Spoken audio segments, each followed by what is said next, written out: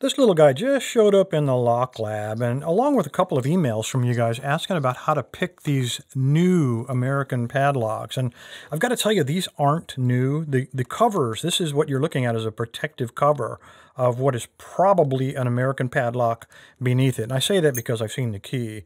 It has American stamped on it there somewhere. Maybe the other side. There we go. American lock. So we're dealing with an American lock inside of a weatherproof American lock cover. It could be any kind of lock though. But um, the question is, how do you pick through these nasty little spring-loaded doors? So these are very cool covers. Very hard plastic. Along the top, these two gray inserts are silicone to keep a nice tight seal to keep the weather out. Again, for people using these things outside for long periods of time. Hard plastic, uh, and beneath we got a couple of drain holes if by some miracle water does make it inside of there. It's got a way to come out, and we got these little spring-loaded doors. And that's really what the question, I think, is about. This is what would give you a lot of problem trying to get in there. I do have the key for this there. It's not really a very challenging bidding, but I can tell you, it looks like there's five in here.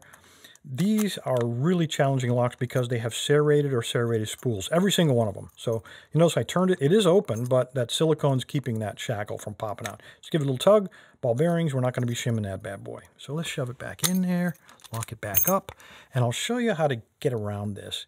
It's a cover, it's an aftermarket cover, guys. And you see these little clips?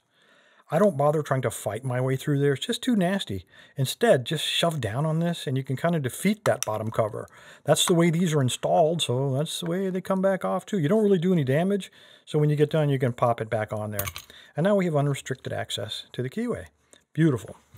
Um, it definitely is an American lock, and it is a model, see what, is a Model 10. So I didn't even check that. That means it's probably got a rivet and we're probably not going to be able to gut it, unfortunately. This is the lower end of the American locks.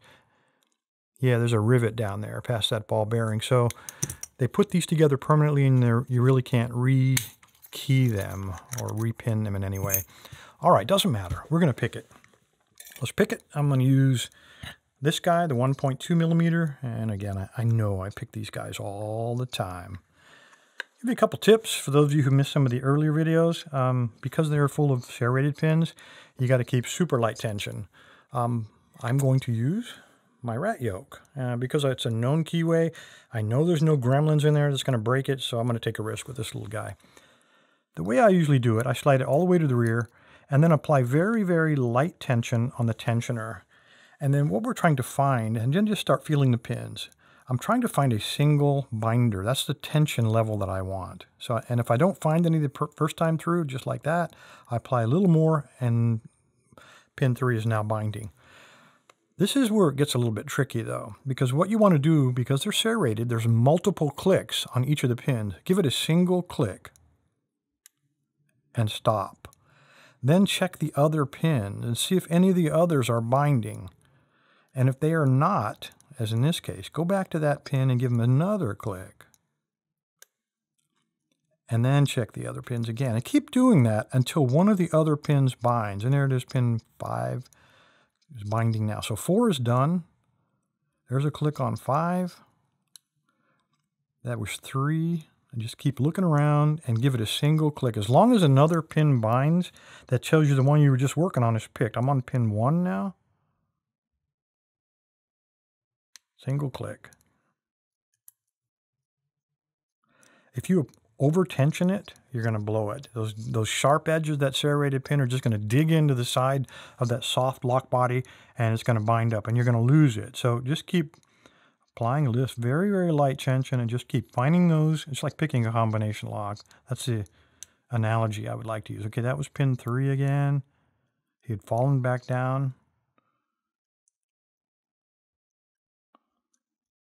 And there we go. You notice it really gave. So now we either have a serrated spool or we have an open. At that point, try not to lose it because they are spring-loaded.